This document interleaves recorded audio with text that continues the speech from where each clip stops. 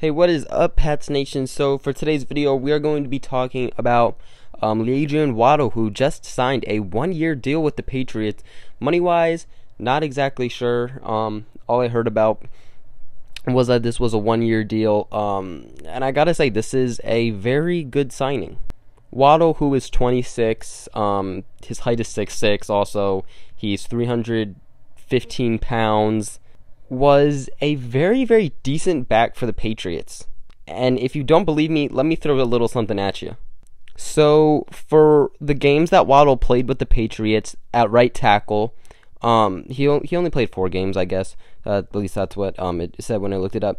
He played, like I said, four games, 334 offensive snaps, and did not allow a single sack, a single sack. And if you don't think that that's pretty impressive, think about this he went up against players like Von Miller, like Khalil Mack, and did not allow a single sack. Now, the Patriots are said to have supposedly been more interested in Cameron Fleming. Personally, I don't really understand why. I personally thought Waddle did better than Fleming did. I like Waddle better. He's only a year older than Fleming. So I'm not exactly sure why the Patriots liked him more.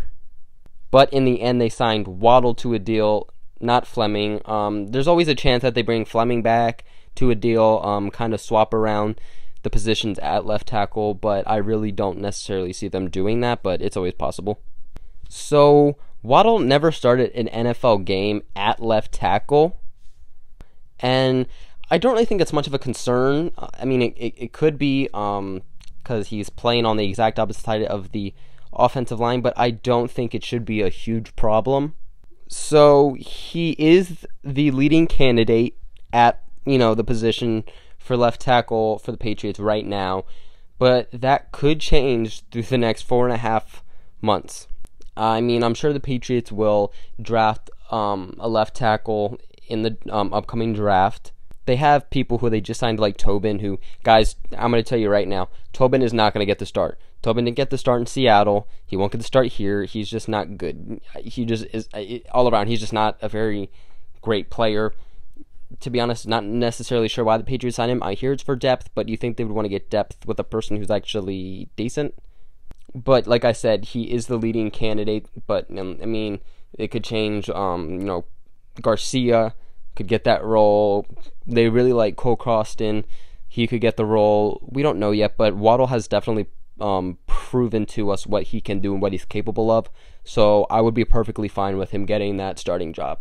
So a little background on him. Um, he started his career in Detroit and then spent the past two seasons with the Patriots.